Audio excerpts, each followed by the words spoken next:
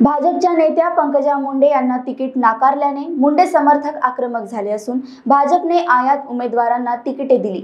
मात्र ज्या स्वर्गीय गोपीनाथ मुंडे साहेबांनी महाराष्ट्रात भाजप वाढविला त्या मुंडे साहेबांच्या कन्या माजी मंत्री पंकजा मुंडे यांना तिकीट नाकारले असा आरोप मुंडे समर्थकांनी केलाय. पंकजा मुंडे यांना भाजपने विधान परिषद तिकीट नाकारल्याने आक्रमक झालेल्या मुंडे समर्थकांनी आज बुलढाणा जिल्ह्यातील देऊळगाव राजा येथे टरबूज फोडून निषेध केला.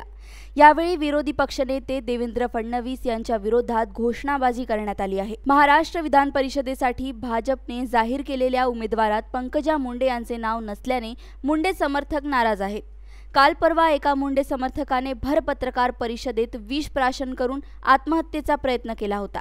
त्यानंतर विरोधी पक्षनेते देवेंद्र फडणवीस यांच्या विरोधात पंकजा मुंडे समर्थकांनी आघाडी उघडली आहे. पंकजा मुंडे या बहुजन नेत्या आहेत. त्यामुळेच भाजपा बहुजन नेतृत्वाला पुढे येऊ देत नाही असा आरोप समर्थकांनी केला आहे. तर येणाऱ्या काळात जिल्हा परिषद पंचायत समितीमधून भाजपाला हद्दपार करून भाजपच्या बहुजन विरोधी धोरणाचा बदला घेणार असल्याचे आंदोलनकर्त्यांनी सांगितले. तर यावेळी कार्यकर्त्यांनी रस्त्यावर टरबूज फोडून भाजपचा जाहीर निषेधही करण्यात आला आहे. काल काल परवा महाराष्ट्रामध्ये विधान परिषदेच्या इलेक्शनच्या संदर्भामध्ये एक महाराष्ट्राच्या भारतीय जनता पार्टीने एक यादी पाच लोकांची फ्लॅश केली. त्यामध्ये श्रीकांत भारती असतील प्रवीण दरेकर असतील प्रसाद लाड असतील उमा ठाकरे असतील किंवा अजून कोणी असतील.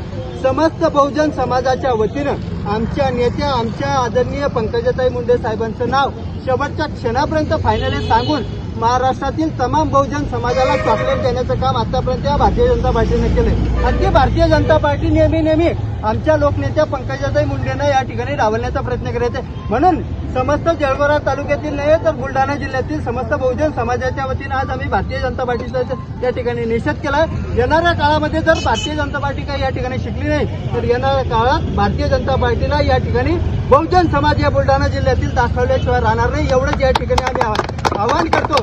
आणि अजूनही तो कोण चंपा तो कोण सो त्यांनी अजून समजून घ्यावं. आमच्या उग्र भावना समजून घ्याव्या. नाहीतर येणाऱ्या काळामध्ये जिल्हा परिषद असतील पंचायत समिती असतील महानगरपालिका असतील किंवा नगरपालिका असतील त्यामध्ये आम्ही हिसका दाखवल्याशिवाय बहुजन समाजाचे लोक थांबणार नाही एवढंच सांगतो. पंकजाताई तू मागे बडो. पंकजाताई तू मागे बडो.